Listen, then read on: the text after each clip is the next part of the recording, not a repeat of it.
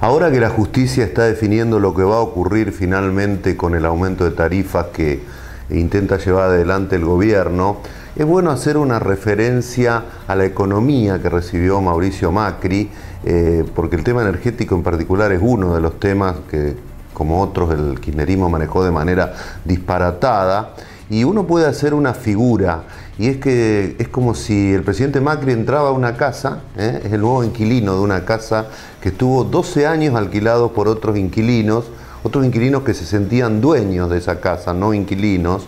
y que hicieron una cantidad de cambios en la casa. Entonces cuando el presidente Macri entra a la casa, encuentra por ejemplo la bañera en el living, eh, encuentra el inodoro en la cocina, encuentra las camas en el balcón, encuentra la mesa donde se come, en el baño, eh, cuando va a abrir la llave de agua resulta que sale gas y cuando prese las luces sale eh, agua.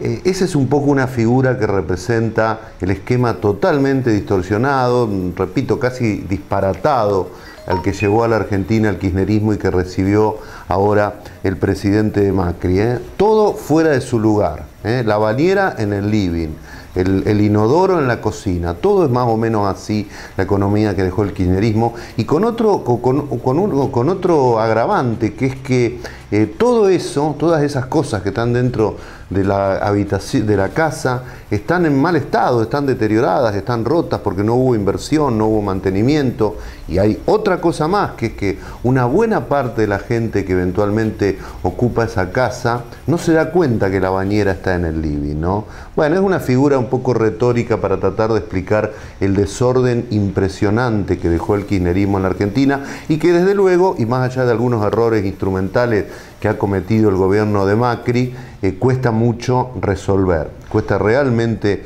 eh, mucho resolver porque esa matriz básica que hoy tienen casi todas las economías serias del mundo, eh, que el gasto fiscal es tanto, que el déficit puede ser tanto, pero no más, que los impuestos tienen que ser así o asá, pero no muy fuera de eso, que